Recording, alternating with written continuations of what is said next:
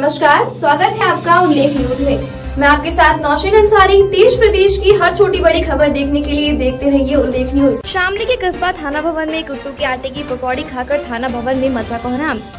दर्जनों लोग बीमार हो गए। एसडीएम शामली ने मौके पर जाकर जाँच की और जिलाधिकारी ने सभी दुकानदारों को जाँच के आदेश दिए। जिलाधिकारी के आदेश के बाद मार्केट में मचा हड़कंप। आधे से ज़्यादा बाज़ार बंद हो गए। कई दुकानों से सैंपल भी लिए गए। सैंपल जाँच के लिए भेज दिए गए हैं। प्रशासन कार्यवाही में जुटा हुआ है। जी आपका नाम? परवेश पूरा मामला क्या है? कुट्टू आटा खाया था जिससे मामला है रात मैंने पूरी बनाई थी उन्होंने उससे। जी। फिर हालत हालत सुबह। पसर में हुई अच्छा। जैसे मैं सुबह पसर में उठाया हाथ धोने वास्ते आने वास्ते जी। चक्कर आए। अच्छा, चक्कर आ गया चक्कर आके मैं गमे रोनी चल रही मैं आ गया लौट लिया। फिर उल, फिर उल्टे लगनी चल रही मामले की जाँच कराई है? हाँ ये क्या मामला पाया है? में ये जो है। कोई पुलिस प्रशासन को तहरीर वगैरह दिए दी थी मैंने जी। क्या रहा? मैंने ये तो इस बारे में नहीं बताऊँगा मेरे को तो सुबह से उठा नहीं परिवार में कितने सदस्य बीमार पड़े हैं? सात छः छः। सात जने। सभी की तबीयत खराब है? जी। आपका नाम?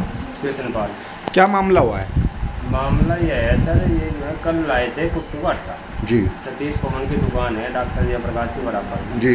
उससे कुट्टू का अट्टा लाए थे उसमें पता नहीं क्या कुछ था। उसे खाने की वजह से इनकी तबीयत खराब हो जी। अचानक जैसे सुबह ही उठती है एक तो इनको उठा नहीं गया।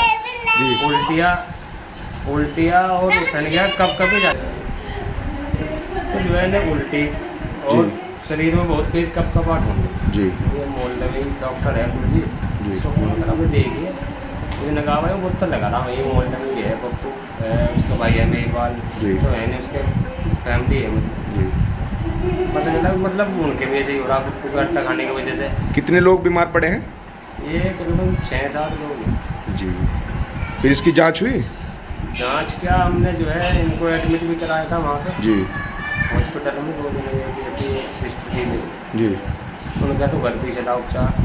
जी। उन्होंने घर पे अपना उपचार करवाया। तो उसमें पुलिस प्रशासन को कोई तहरीर वगैरह दिए हमने तहरीर दी थी पर वो जो व्यापार मंडल के थे उनके लोग जी। कुछ बस आपसी भाईचारे की वजह से। जी। हमने कहा भाई हम अपनी तहरीर वापसी ले लेंगे और जो काम है प्रशासन का है हम चाह रहे हैं कि क्लियर हो जाए कि इस अट्टे की वजह से ही हुआ है कुछ और वजह और कुछ नहीं इसमें एस डी एम साहब भी आए थे। जी। और भी टीम थी। जी। विभाग की। ये किस्म की कार्रवाई के बारे में पता नहीं हुआ क्या क्या नहीं हुआ ये यहाँ पर आए थे। ठीक।